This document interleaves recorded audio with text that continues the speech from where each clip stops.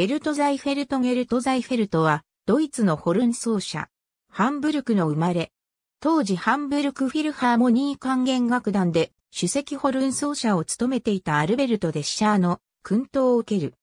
1946年から地元の歌劇場のホルン奏者を務め、1948年からデュッセルドルフフィルハーモニー管弦楽団に加わり、1964年まで主席奏者を務めた。1956年にはミュンヘン国際音楽コンクールのホルン部門で優勝を果たし、1961年よりバイロイト音楽祭のオーケストラに加わった。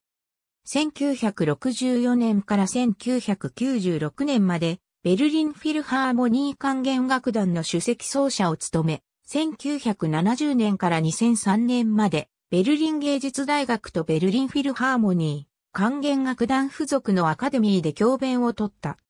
引退後、2005年から2006年までは、スペイン・バルセロナのリセウ大劇場でのソロ活動や、シンガポール交響楽団での名誉ソロ奏者として活動した。2019年2月28日、ベルリンにて死去。87歳没。